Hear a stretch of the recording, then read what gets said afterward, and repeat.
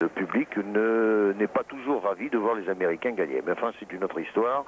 Nous allons suivre maintenant l'un des grands favoris de cette finale, Ivan Ivankov, champion du monde à l'âge de 19 ans à Brisbane en Australie. C'était il y a 4 ans. Double tendu plus vrille. Le buste un peu bas à la réception. Saut de main, salto avant tendu, salto avant tendu, salto plus vrille.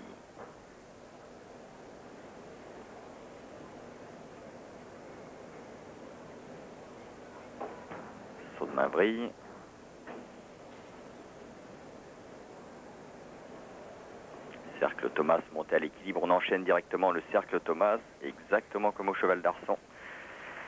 Et s'ensuit le travail de souplesse, grand écart antéro-postérieur. Placement jusqu'à l'équilibre.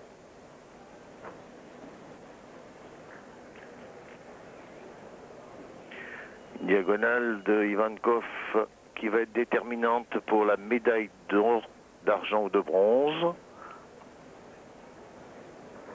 Mandat de flip, Double tendu. tendu.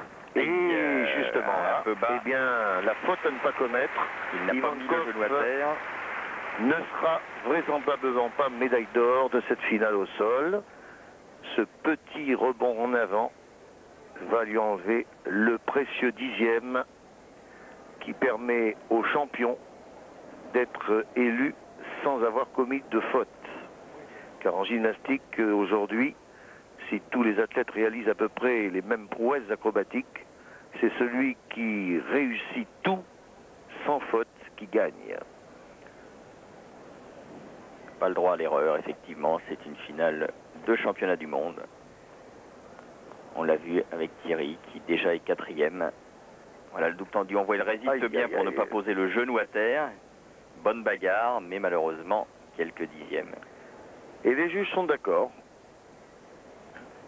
Comment ne pourrait-il pas l'être puisque Ivan Ivankov